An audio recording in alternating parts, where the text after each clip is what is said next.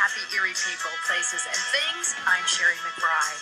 Live with me in the studio this morning. Now, he's known as Bigg Wash, but it's Abdullah Washington. Good morning, Abdullah. Good morning, Shari. Now, I don't know whether to call you Big, Big, Bigg Wash or Abdullah. What, what, what do you prefer? That's fine. Either way. Either way, well, you know, um, I, don't- I don't.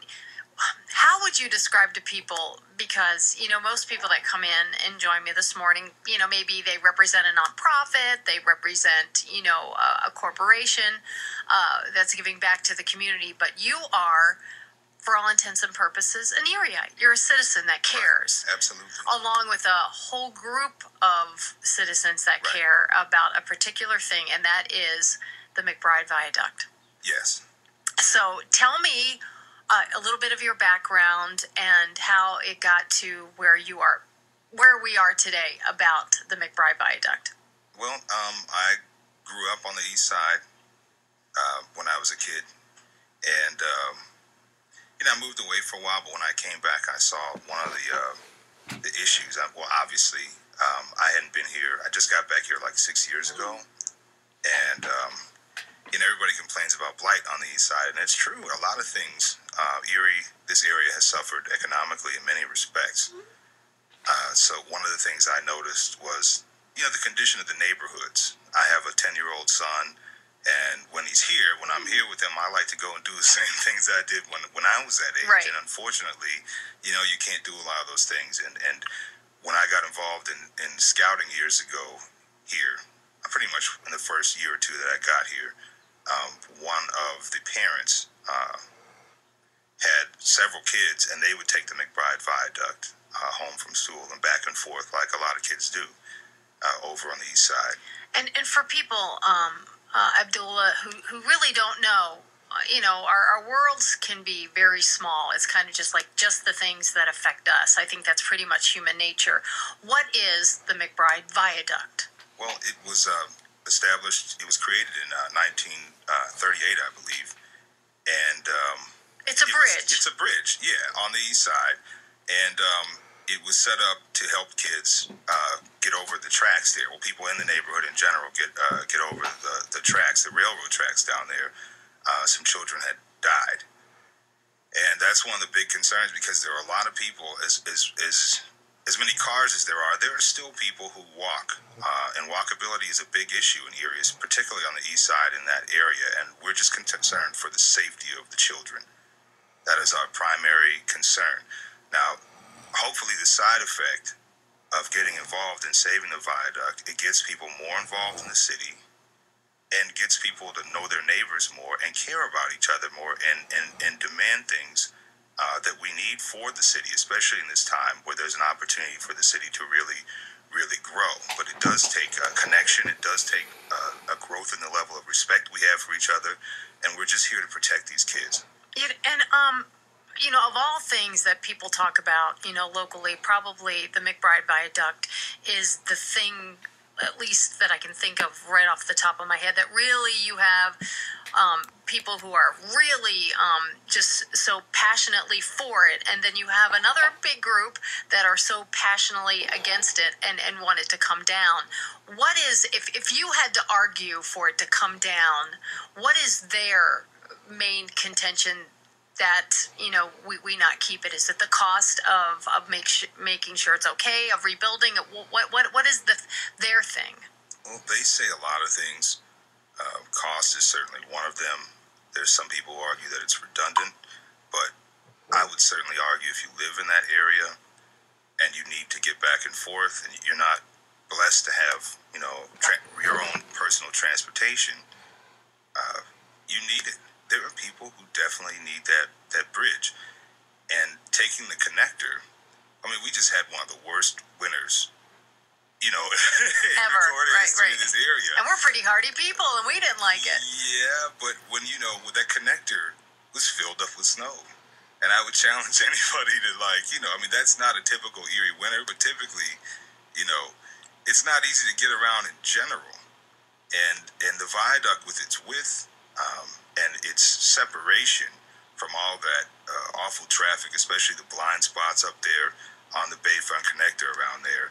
The viaduct is a is a for many reasons a very safe option, and that's why people in the area choose to use it now. I, I think it's great. You know, if you want to help somebody, you can have all the best intentions in the world, but you have to meet them where they are. And the viaduct is one of those issues um, on the east side with its many with its many difficulties. Uh, supporting the viaduct is a way to meet people where they are and get them involved in the process of, of, of, of creating, building neighborhood spaces and improving Erie. And I think of it as a win for everybody. Uh, there were people, we're so used, we're so complacent and used to thinking that we cannot do things in Erie. And what's funny is a lot of experts have been here who, you know, they do this stuff across the country. You know, the viaduct is not like a brand new concept or a crazy concept. Cities that revise, you know, revitalize themselves, that's one of the things that they do. It's very common. And people who know about that know how to get the resources for it. It's, it's not really a, so much a budgetary issue at all. It's the idea of who's willing to be involved. And I think meeting poor people where they are is a way to validate them and, and, and get the types of improvements, you know, the self improvement that people talk about is so lacking in this area, it would really be served by supporting the viaduct. What, where is the the the viaduct situation right now? Like, where does it stand today? Like, where's it at? Is it coming down? Is it staying? Are people still talk? It seems like people are still talking about it, which which is good. At least people are still talking. Right. Well, I mean, one of the things is there's a uh, there's a civil rights suit, um, which I'm I'm one of the people participating in it um, because we do want equity in our city, and, and one of the important things is that is that poor people and people in areas that aren't really spoken for, like the East Side, unfortunately, uh, aren't given the same type of voice uh, in our city as people in other areas. There's all kinds of spending on, on projects that are redundant on the West Side. And not to say that this is a redundant project, to say at least because people actually need it, but like they're building up gates in, gated, in, in secluded communities in Erie for millions. Corners that need like really basic adjustments are getting millions. Um, and the viaduct, if the mayor were to take it off of the destruction list, there'd be all kinds of money available for it that the people who oppose it aren't even, they're not willing to even talk about publicly because they know it's true as well. Uh, so we really do see it as an issue of have and have nots. And if Erie's going to improve, we have to make this place a city that embraces everybody who's already here. I mean, there, uh, the New York Times article, there was somebody in the mayor's camp talking about, you know, people on the east side aren't the kind of neighbors that you'd want to have. I mean, like that's that's terrible. I mean, that's a terrible point of uh, a start, a starting point uh, for people to have a discussion about a good Erie being a good place to raise kids. We need to change that. We need to embrace each other and support each other. Amen.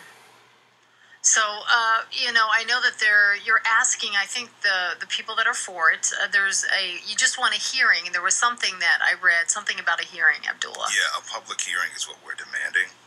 Uh, because you know a lot of smoke has been blown, a lot of things have been thrown against the wall. Um, you know, and in this era of I don't know, I hate to say fake news. I mean, there's just been so much said that it's hard for a lot of people to follow I mean, but basically, we just want a public hearing so that, and what that does is it makes it so that people only use the facts in the discussion because people will be held accountable. They can be held accountable for, for saying things that just aren't true. And a lot of untruths have been spoken about the viaduct. And I think, I mean, especially on the east side, especially being someone from the black community, there's this idea that somehow we can't have a community college and have the viaduct at the same time, which is just utterly bizarre. Anyone who knows anything about raising funds for these types of things knows that the mayor just simply needs to take it off the destruction list, and then other people from across the country, let alone the world, would be willing to give you know this money to help show the East Side finally, you know, some respect. Now, if you're looking for Erie Connect, Protect, and Respect Erie CPR. Uh, we can be found on Facebook as well as erieviaduct.com. Um, but that's really what it is. I mean, there's a lot of changes happening in Erie, and we just want everyone to be treated with respect, and regardless of what neighborhood they come from in Erie. And one of the big misses that we've fallen into with complacency is not being, not actually showing up to vote. You're not helping local leaders make decisions if you're not making yourself be counted. And we're just asking for everybody to to be engaged and concerned about uh, the processes in the city will only make us a stronger city and county. Abdullah Washington, um, thank you so much uh, for your time this morning. I know you you represent a lot of people that are very passionate about this. You work hard. It's your own time. It's your own sweat equity. Um, eh, you, you mentioned a Facebook page and a website. One more time, Abdullah. Yeah, Erie Connect, Protect, Respect, Erie CPR, www.erieviaduct.com. Well, thank you so much, uh, Abdullah Washington. Bigg Wash. We also have regular meetings Oh, good, uh, every good. Sunday at, at 3. Oh, so so Um, you'll have one this afternoon. That is actually going to be at. So he's finding out. He's going into his iPad to find out. He's very wired. He's wired right now. Very good. St. Anne's Church at 921 East Avenue.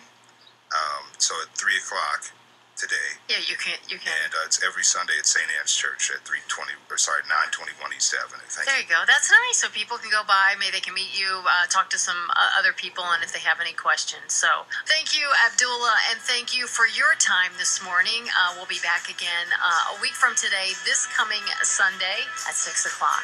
Have a wonderful, happy day. I'm Shari McBride.